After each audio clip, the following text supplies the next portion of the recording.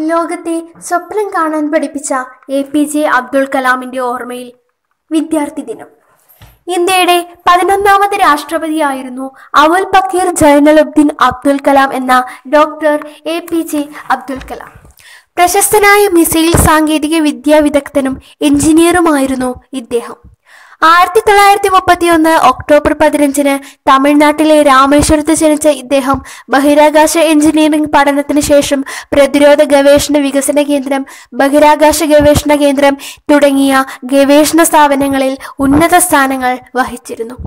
Indian Institute of Management Ahmedabad Indian Institute of Management Indore എന്നിവിടങ്ങളിൽ അധ്യാപകനും Thiruvananthapuram Indian Institute of Space Science and ടെക്നോളജിയുടെ vice ചാൻസലറുമായിരുന്നു India തദ്ദേശീയമായി വികസിപ്പിച്ച satellite launch വെഹിക്കിളിന്റെയും ബാലിസ്റ്റിക് മിസൈലിന്റെയും വികസനത്തിനും ഏകോപനത്തിനും മറ്റും അബ്ദുൽ കലാം വിലപ്പെട്ട സംഭാവനകൾ നൽകിയിട്ടുണ്ട്.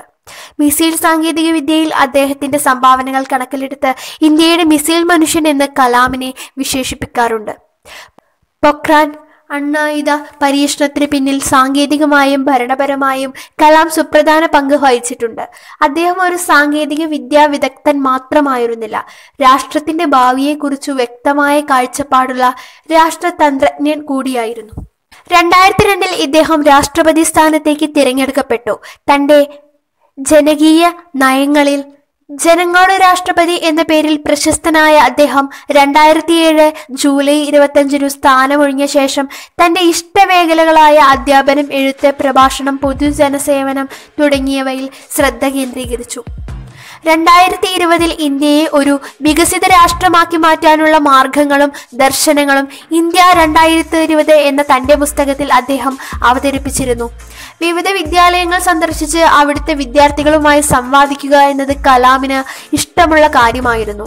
അദ്ദേഹത്തിന്റെ പ്രസംഗങ്ങൾ വിദ്യാർത്ഥികൾക്ക് വളരെയധികം പ്രചോദനം നൽകുന്നവയാണ്. അഴിമതി വിരുദ്ധ ഇന്ത്യ സൃഷ്ടിക്കുവാനായി യുവജനങ്ങളെ ബോധവൽക്കരിക്കുന്നതിനുള്ള ഒരു ദൗത്യവും അദ്ദേഹം ഏറ്റെടുത്ത് നടത്തുന്നുണ്ടായിരുന്നു. രണ്ടായിരത്തി പതിനഞ്ച് ജൂലൈ ഇരുപത്തിയേഴിന് എൺപത്തിനാലാം വയസ്സിൽ അദ്ദേഹം അന്തരിച്ചു. ഷില്ലോങ്ങിൽ ഇന്ത്യൻ ഇൻസ്റ്റിറ്റ്യൂട്ട്സ് ഓഫ് മാനേജ്മെന്റ് പ്രസംഗിക്കുന്നതിടെ ഉണ്ടായ ഹൃദയാഘാതത്തെ തുടർന്ന് കുഴങ്ങി വീഴുകയായിരുന്നു. ഉടനെ ആശുപത്രിയിൽ എത്തിച്ചെങ്കിലും ജീവൻ രക്ഷിക്കാനായില്ല.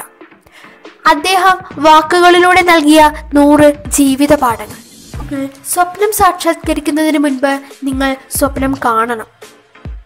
നിങ്ങൾക്ക് സൂര്യനെ പോലെ തിളങ്ങണമെങ്കിൽ ആദ്യം സൂര്യനെ പോലെ കത്തുക. ഒരു രാജ്യം അഴിമതി വിമുക്തവും സുന്ദര മനസ്സുള്ളതുമായ ഒരു രാജ്യമായി മാറണമെങ്കിൽ ഒരു മാറ്റം ഉണ്ടാകാൻ കഴിയുന്ന മൂന്ന് പ്രധാന സാമൂഹിക അംഗങ്ങളുണ്ട്. അവർ അച്ഛനും അമ്മയും അധ്യാപകരുമാണ്. ആകാശത്തിലേക്ക് നോക്കൂ നമ്മൾ തനിച്ചല്ല. പ്രപഞ്ചം മുഴുവനും നമ്മോട് സൗഹാർദ്ദപരമാണ്.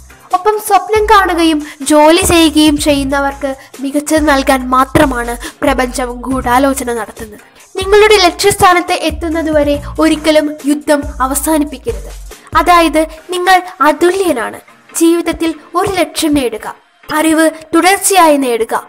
കഠിനാധ്വാനം ചെയ്യുക. മഹത്തായ ജീവിതം സാക്ഷാത്കരിക്കുന്നതിനുള്ള സ്ഥിരോത്സാഹം എന്നിവ നിങ്ങളെ ലക്ഷ്യസ്ഥാനത്ത് എത്തിക്കും. ഒരു രാജ്യം അഴിമതിരഹിതമാകണമെങ്കിൽ മനോഹരമായ മനസ്സുകൾ ഉള്ളവരുടേതാകണമെങ്കിൽ ഞാൻ കരുതുന്ന സമൂഹത്തിലെ മൂന്ന് പ്രധാന അംഗങ്ങൾക്ക് അതിന് കഴിയും. മാതാ പിതാ ഗുരു. യുവാക്കൾക്കുള്ള എന്റെ സന്ദേശം ഇതാണ്.